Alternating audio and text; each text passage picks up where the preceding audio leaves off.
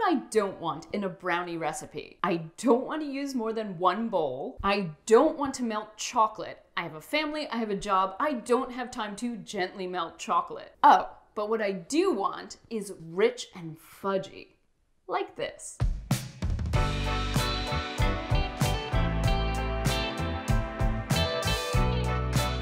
Lovely people, meet my secret weapon.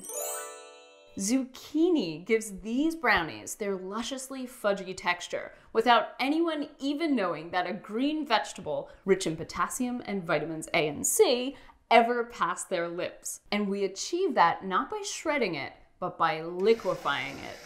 Okay, let's go. First, grease a 9 by 13 inch pan and preheat your oven to 350. Now, you'll need 8 ounces of zucchini, roughly chopped.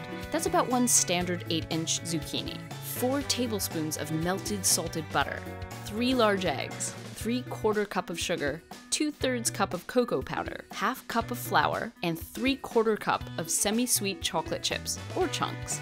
Now, we're going to do this whole recipe in the bowl of a food processor. And if you have everything measured out, it's going to take less than five minutes to come together. If you don't have a food processor, get your hands on a blender. You can blend up the zucchini, eggs, and butter, and then pour that into a regular bowl, add your dry ingredients, you're done. In the food processor, blend the zucchini, butter, and eggs until smooth. Add the dry ingredients except the chocolate chips and process until they're blended into an evenly colored batter. Now add the chips and pulse a few times to distribute them.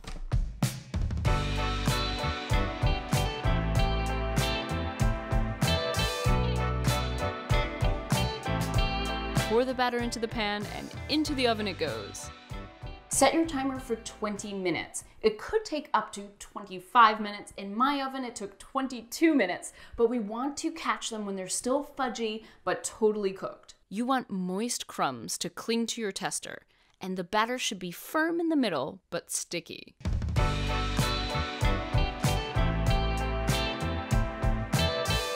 Let the brownies cool completely in the pan before cutting them so they don't stick to the pan.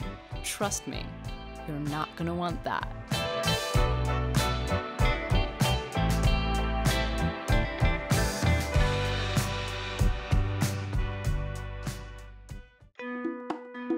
Now, dance with me over to our new merch shop.